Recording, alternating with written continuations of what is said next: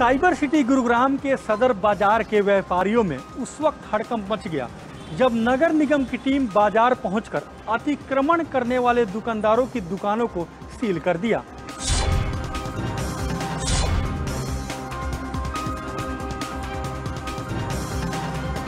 गुरुग्राम के सदर बाज़ार में व्यापारियों को अतिक्रमण करना इतना भारी पड़ने वाला है, यह शायद किसी ने भी सोचा न था। दरअसल सुबह पाँच बजे नगर निगम की टीमों ने सदर बाज़ार इलाके में सौ से ज़्यादा दुकानों को सील कर दिया। इसके लिए नगर निगम की टीम पूरी तैयारी के साथ मौके पर पहुँची थी। तस्वीरों में आप साफ़ तौर से देख सकते हैं कि कैसे नगर निगम के अधिकारियों ने सदर बाज़ार की नामी गिरामी दुकानों पर ताला जड़ दिया। भाई साहब रात को बारह एक बजे फ़ोन आ गया कि कमेटी ने सील करनी है। दो ढाई बजे से हम रात के दो ढाई बजे से जाग रहे हैं बाज़ार में आए हैं, परेशान हो रहे हैं यहाँ के और बहुत नजायज़ हो रहा है सब दुकानदारों के साथ। पचास पचास हज़ार के चलान कैसे भुगतेंगे? दो बार कटवा दिए हैं। पिचासी दुकानें पिछली बार सील करी थी, साढ़े बयालीस लाख रुपये पूरे बाज़ार से हुआ है। अरे ऐसा क्या दुकानदार ने कर दिया? आके हमारे को हद दे जाओ, कम से कम चौतरे पे तो लगाने दो। पहले हम गलत थे, आठ फुट हम बाहर लगाते थे रोड पे। ऐसा कुछ भी नहीं आप पूरा बाज़ार का सर्वे करो। ये दो चार बाज़ार के हैं उल्टी सीधी कंप्लेने दे के आते हैं कमेटी में और ये ऐसी सीलिंग बाजी हो रही है, ऐसे कुछ कमाई नहीं है कि पचास हज़ार की सील करके हम दुकानदार दे सकें। भैया पता नहीं, हमारी शॉप के आगे कुछ लगता नहीं है, वो ये कमेटी आके बंद सील कर गई है। तो मार्केट के किसी बंदे ने सूचना करी है कि आपकी शॉप सील हो गई है।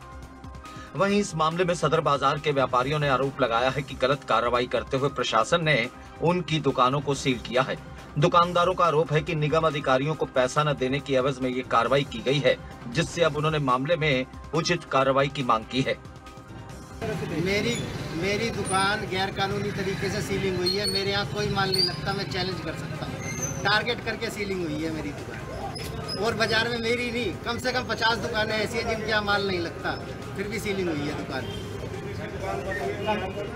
कमेटी ने मतलब अंधेर गर्दी मचा रखी है बाज़ार के अंदर, बिल्कुल। मतलब पैसा मांगते हैं, जो पैसे नहीं देता, उनकी दुकानें सील दरअसल सदर बाज़ार इलाके में अतिक्रमण को लेकर नगर निगम ने बाकायदा वीडियोग्राफी करवाई थी। जिसमें सौ से ज़्यादा शॉपकीपर्स ऐसे पाए गए जिनकी वजह से सदर बाज़ार इलाके में अतिक्रमण को बढ़ावा दिया जा रहा था। और इसी को लेकर सुबह से निगम की सीलिंग अभियान में सौ से ज़्यादा दुकानों को सील किया गया। नगर निगम द्वारा इस कार्रवाई से सदर बाज़ार के व्यापारी नाराज़ है और वो नगर निगम पर ही गलत आरोप लगा रहे हैं। हालाँकि नगर निगम की तरफ़ से इस मामले को लेकर अभी प्रतिक्रिया आना बाकी है।